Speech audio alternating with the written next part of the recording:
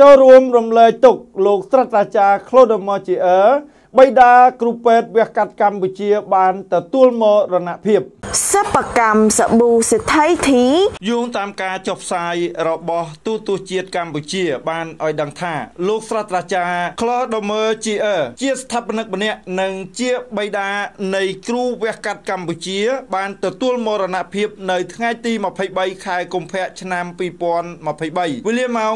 22អាត្រាតនៅទីក្រុងប៉ារីសនៃប្រទេសបារាំងស្រដ្ឋាចារ្យវិជ្ជបណ្ឌិតនិងនិស្សិតពេទ្យកម្ពុជាបានរៀបចំពិធីគោរពវិញ្ញាណក្ខន្ធនិងពិធីបុណ្យបាំងស្កូលជូនដល់លោកស្រដ្ឋាចារ្យនៅវត្តព្រះពុទ្ធមានបុណ្យនៅវេលាម៉ោង8ព្រឹកថ្ងៃប្រហោះទី2ខែមីនាឆ្នាំ2023ដើម្បីជាការដឹងគុណនិងសម្ដែងការចូលរួមចំណែកមរណទុក្ខដ៏ក្រៀមក្រំនេះលោកស្រដ្ឋាចារ្យបានមកដល់កម្ពុជាក្នុងឆ្នាំ1993ជាគ្រូពេទ្យវះកាត់នៅមន្ទីរពេទ្យកាល់ម៉ែតដល់ឆ្នាំឆ្នាំ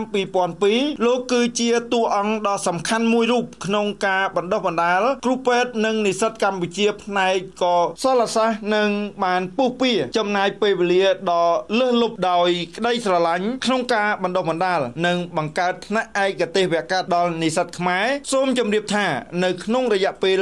22ឆ្នាំនៃអាជីពរបស់លោកលោកបានពង្រីកទំនាក់ទំនងរវាងវិស័យវិទ្យាសាស្ត្របារាំងនិងកម្ពុជាដោយយកអស់កម្លាំងកាយចិត្តការបាត់បង់រូបលោកគឺជាការបាត់បង់ដ៏ធំមួយរបស់មនុស្សគ្រប់រូបបាត់បង់គ្រូដ៏ល្អនិងបាត់បង់សហការីដ៏ចំណានមួយរូបសិប្បកម្មសាប៊ូសេដ្ឋីធី